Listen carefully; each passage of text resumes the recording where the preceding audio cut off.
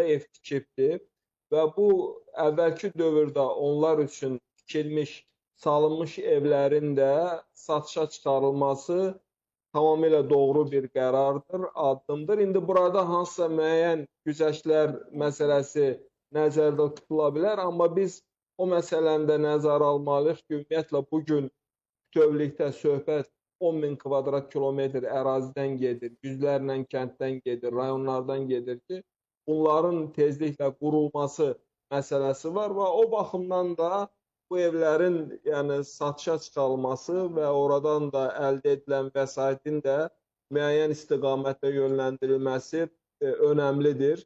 Hazırda dövlət bununla bağlı bütün detalların üzərində işləyir. Çünki burada artıq bu evlər boşalıbdır və bunların tez bir zamanda da evə ehtiyacı olan insanlara verilməsi istiqamətində də cənab prezidentin müvafiq tapşırıqları var. Bilirsiniz ki, bu evlərin bir hissəsi şəhid ailələrinə təqdim edildi. Yəni bu gün bu istiqamətdə dövlət e, çox doğru bir mühüm qərar qəbul edərək artıq bu evlərin bir hissəsi hansı ki inşa olunmuşdu, paylanılmamışdı. Onlar artıq həmin vətəndaşlara verildi və bu mərhələli şəkildə də bu məsələyə baxılacaq və bu evlərin e, satışdan əldə olunan gəlir də sizin qeyd etdiyiniz istiqamətə yönələcək. Mən onu bir daha vurğulamaq istəyirəm ki, həqiqətən də bu uzun bir proses.